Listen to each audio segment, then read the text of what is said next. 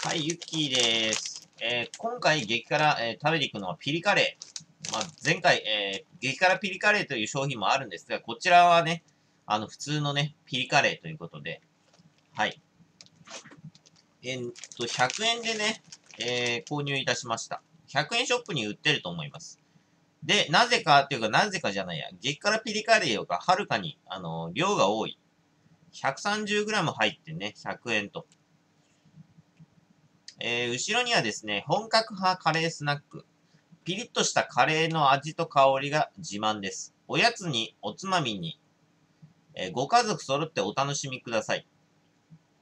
で、こちら製造者が、えー、天狗製菓株式会社という会社です。それではね、早速食べていきましょう。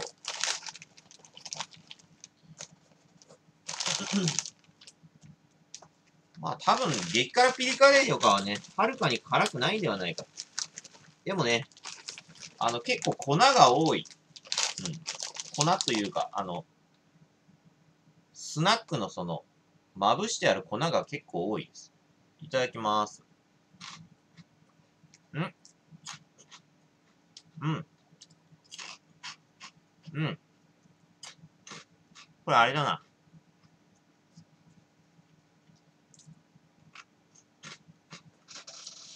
うん。月下ピリカレーよか。はるかに辛くないですね。うん。うん。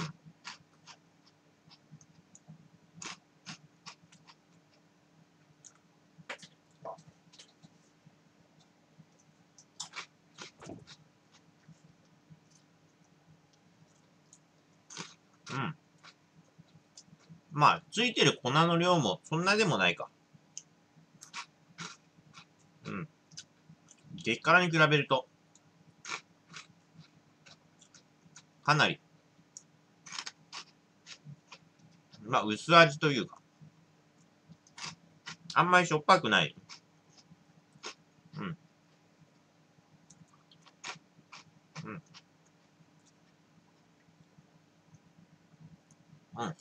まあでも美味しい。うん。美味しい美味しい。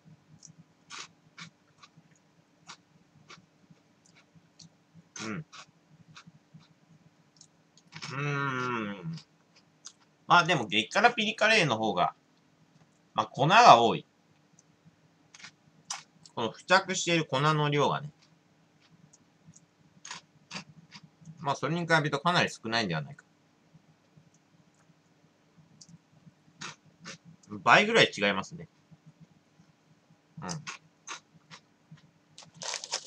おそらく倍ぐらい違うんじゃないか。うん。辛さは、3分の1ぐらいになったな。3分の1か4分の1ぐらいになって。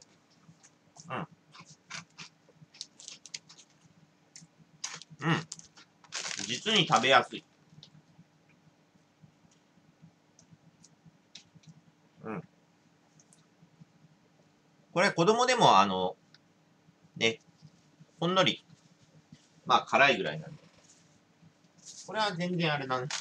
ガキでも余裕で食べられる。うん。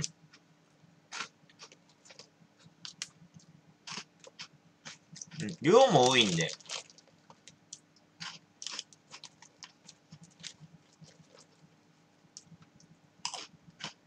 これつまみとかにいけるな。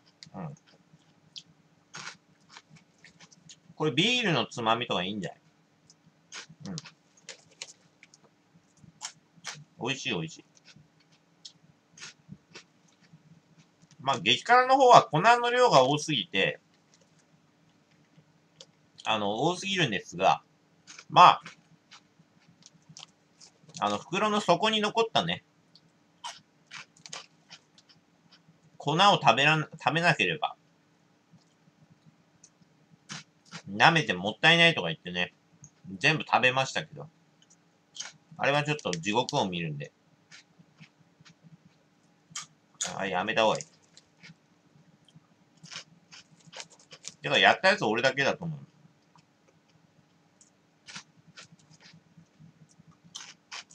うん。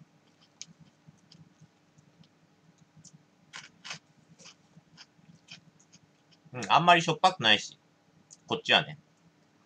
激辛の方はかなりしょっぱかったんですけど。うん。こっちの方は全然、うん。食べやすい。うん。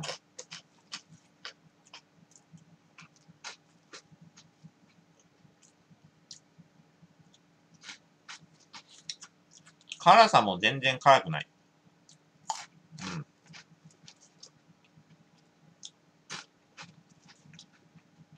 うん。うん。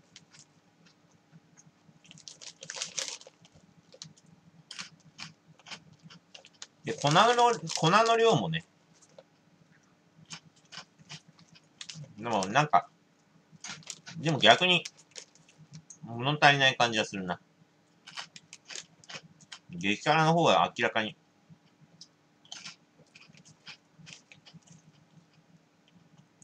うん。うん、う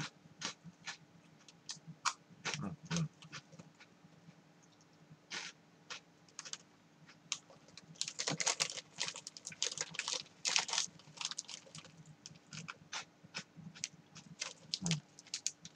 まあ、そんなの通りピリッとくる辛さ。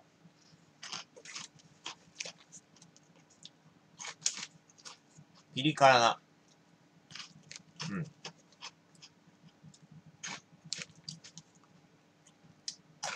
うん、うん。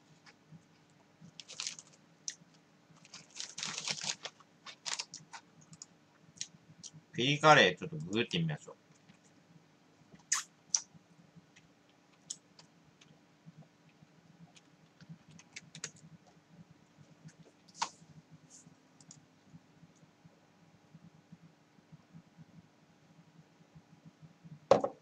もうね、あの、激辛ピリカレーはね、あの、激辛とかのレベルを超えた、あの、超辛になってますんで、あんま買わない方がいいです。辛いの好きな人以外、あの、食べない方がいい。うん。ものすごい辛いわ。うん。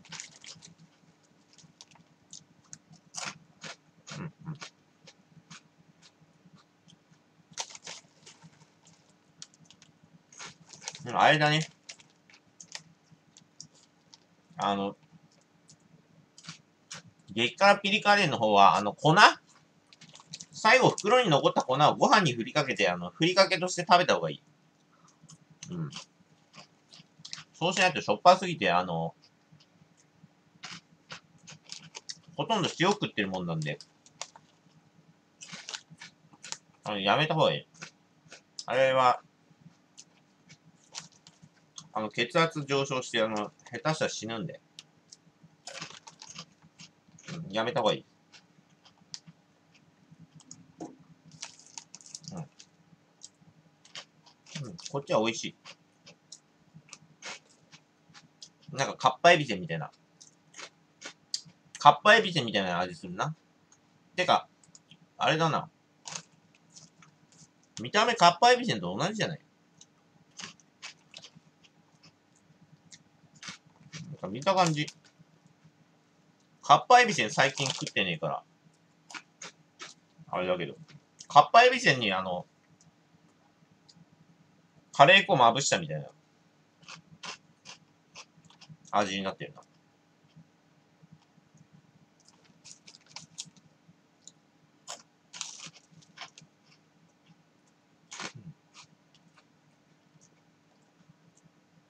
まあ、アマゾンでも売ってはいるんですが、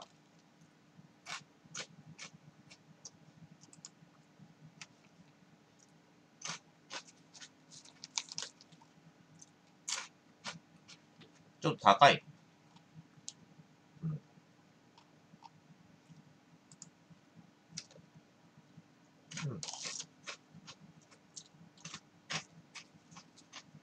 まあ、これ万人向けだな。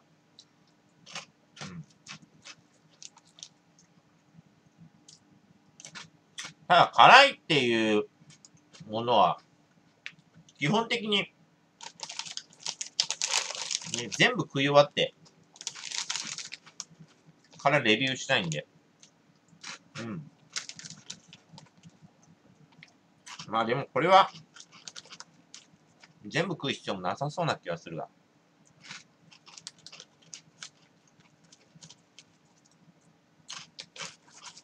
結構量が多いんで。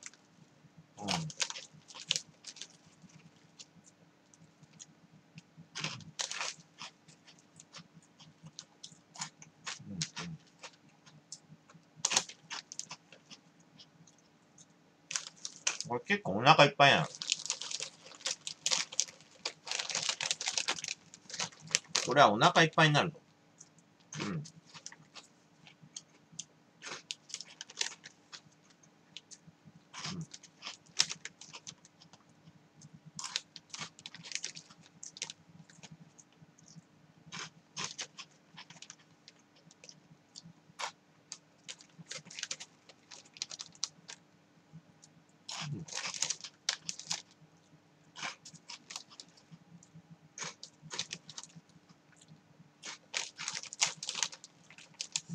特に言うことがない。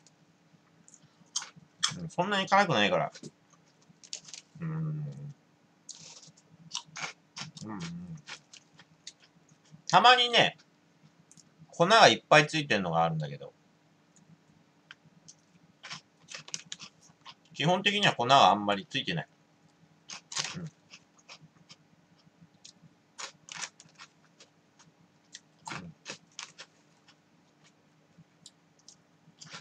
うん。うん。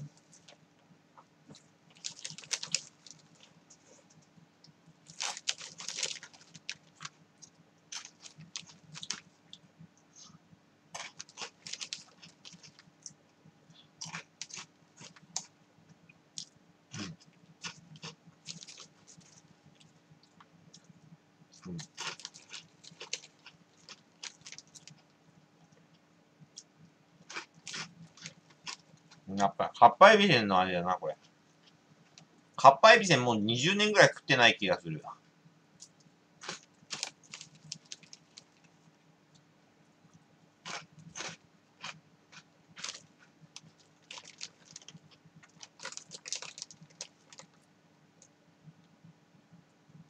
もうかっぱえびせん全然食ってないな、本当に。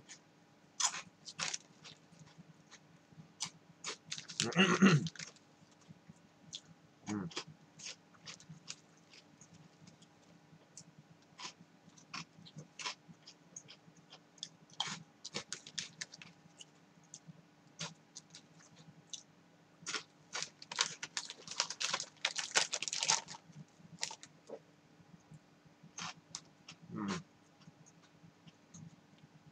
これぐらいの辛さだとギリギリ、あの、汗をかかないレベル。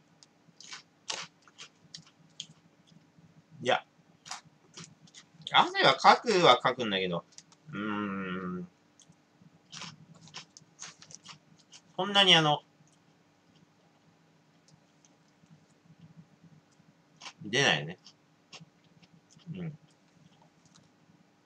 ちょっとポツポツと汗が出る。滴りはしない。ぐらいの汗が出る。うん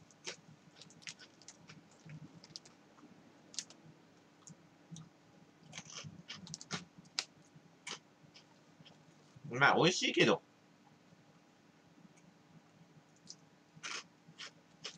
そんなに。まあ、買う価値はあるかっていうと。うん。怪しい。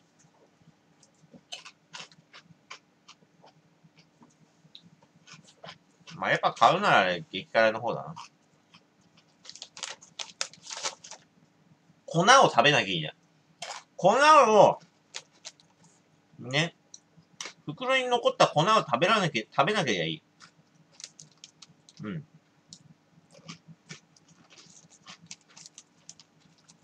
それ全部捨てるぐらいの覚悟で。うん。食べれば、特に、何も、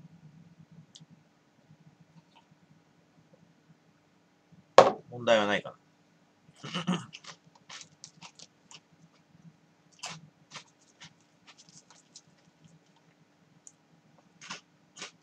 まあ、でも、あの辛さはちょっとあれだよね。異常レベル。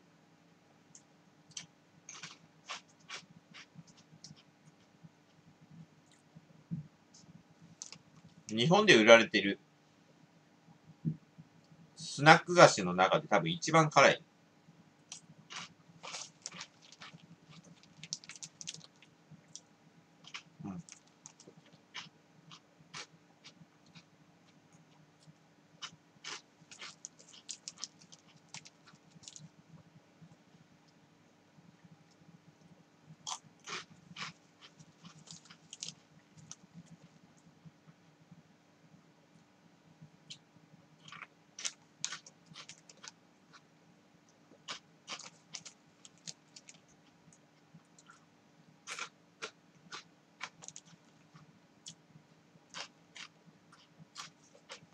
久々にこんなに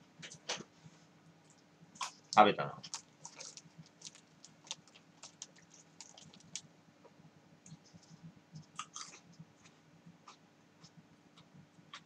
スナック菓子なんて普段あんま食わないから。あ、でも最近食べてるのは、あの、キャラメルコーン。をコーヒーを飲みながらキャラメルコーンを食べる。と、美味しい。うん。キャラメルコーン昔からうまかったね。あれは。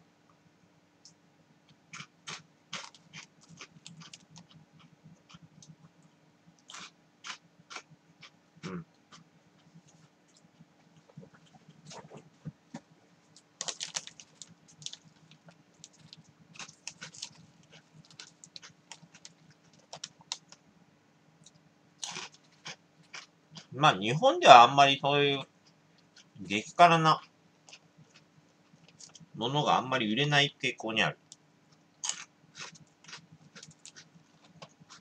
だから激辛とか言っといて大して辛くないパターンのね、お菓子が大、あの、結構ってかかなりあるんだけど。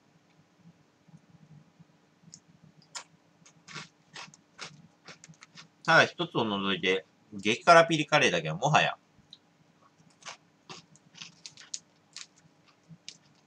やっと本物の激辛が来たかね。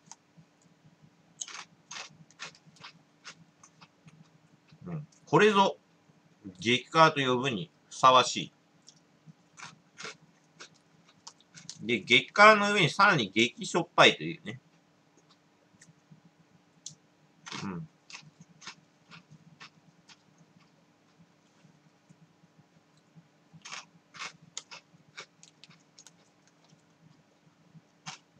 あれはちょっと、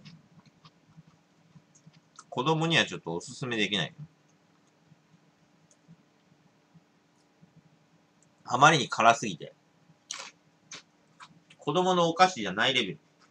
うん。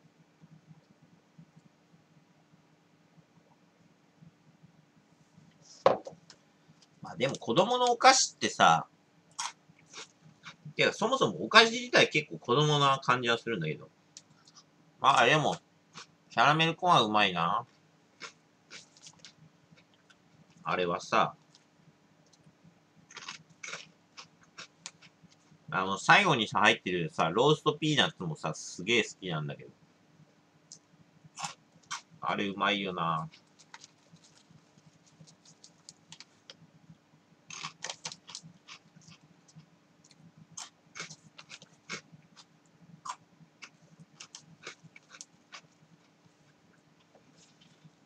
うん。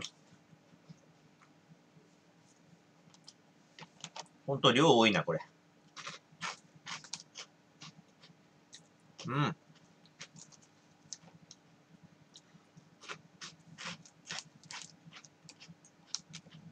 食い入れがある。うん、お腹いっぱいだよ、これ。うん。手がこれ。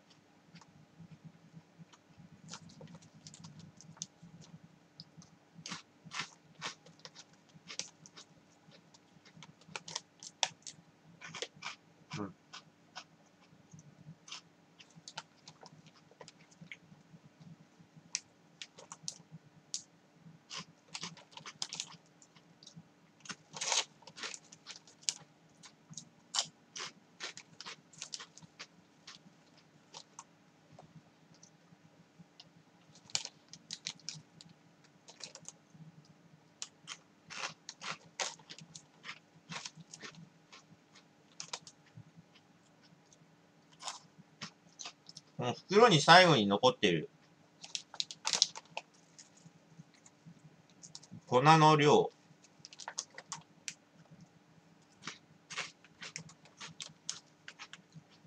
あんま入ってねえな。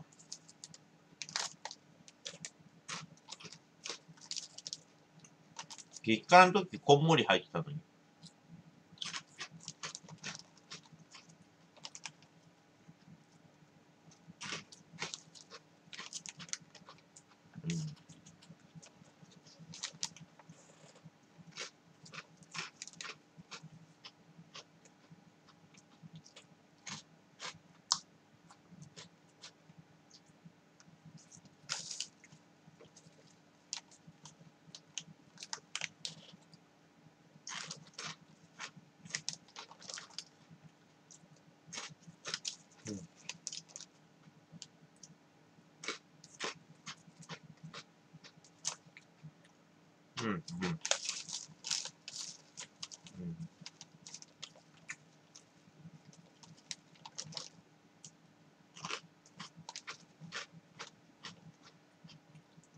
やっぱあれだな。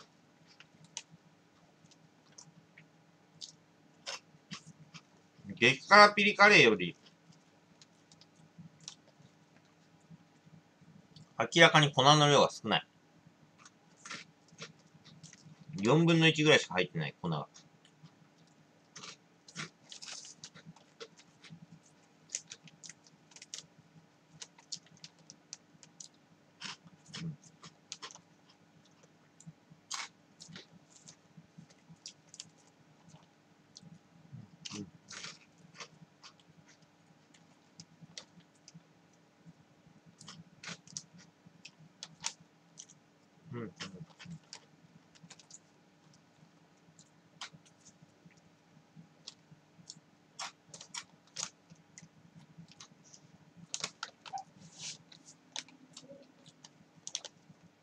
粉の量がこちら。この程度。うん。この程度でしか入ってないですね。これ全部、ちょっと舐めてみましょう。うん。うんあ、やっぱりそんなに、す、あの、しょっぱくない。これ塩あんま入ってないな。うん。うん、しょっぱいけど、そんなに、あの、激辛より、しょっぱくない。明らかに、塩分が少ない。塩分が少ないっていう評価もおかしいけど、あれはやっぱ異常だよね。激辛ピリカレーはちょっと異常な量だったんで。これの4倍ぐらい入ってたもんな。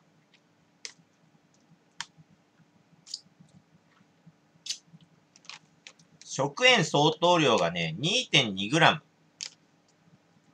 食塩相当量が 2.2g だから、100g あたり 2.2g って結構、まあ、あるはあるか。激辛の方な、何点なんだったっけな？何グラム入ってたっけな。あれあれおかしいレベルだったんで。まあ、とりあえず全部完食しましたが、まあ、これは35だな。辛さ度数35。うん。35です。それではご視聴ありがとうございました。